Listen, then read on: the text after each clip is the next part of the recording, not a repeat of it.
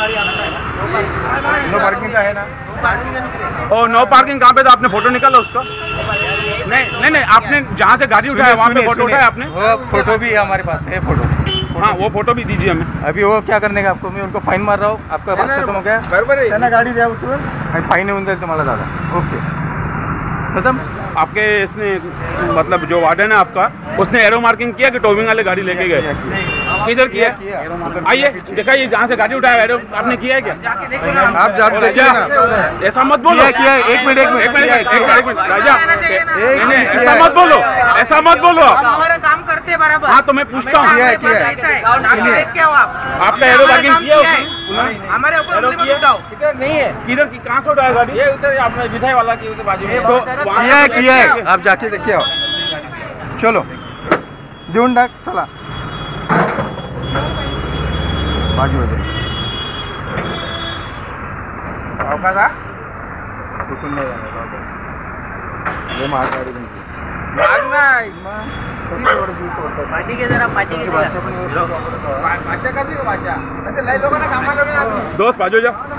ओ दोस्त बाजू जा. भाऊ एक मिनिट. हा, अशी बदली करणार मला हे करणार हा मग तुम्ही मला दोन टोकाला टाकू. दुपारच्या पुढे माहीत आहे.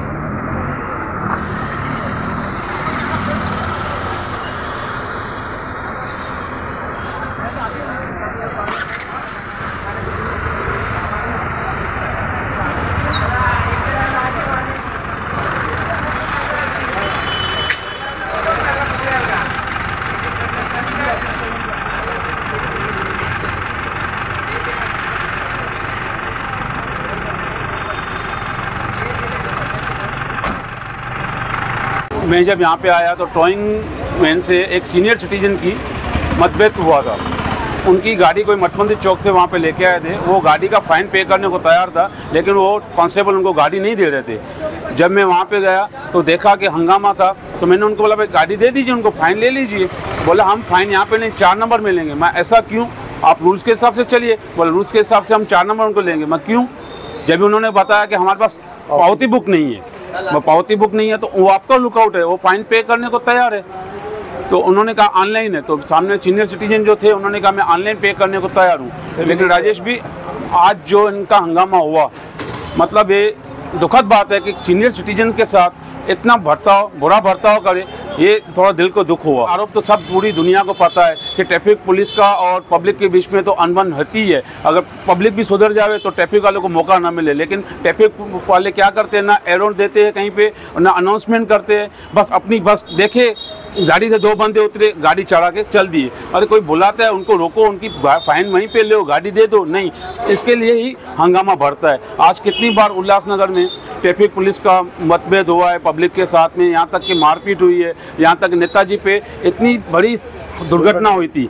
मेरा ट्रैफ़िक पुलिस से यही हाथ जोड़ के विनंती है कि वो जब भी आवे अनाउंसमेंट करे और जो अब जहाँ पे गाड़ी ले रहे हैं और वो कोई फाइन पे करने को तैयार उनको वहीं पे गाड़ी दे दे उनका एक घंटा डेढ़ घंटा उनका बचे।